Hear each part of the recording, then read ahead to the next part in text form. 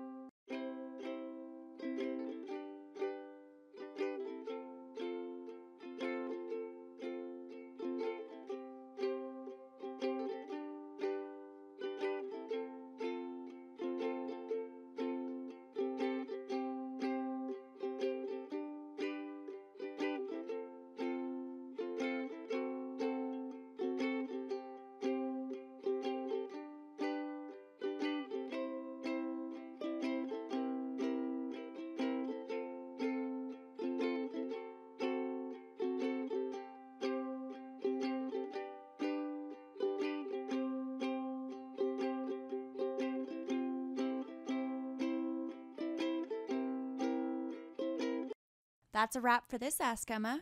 This dog needs to get back to the yard. If you need additional education, check out our product recommendations below. If you haven't already, be sure to subscribe to our YouTube channel so that you can stay up to date on everything from the Haugen Consulting Group. We'll see you soon.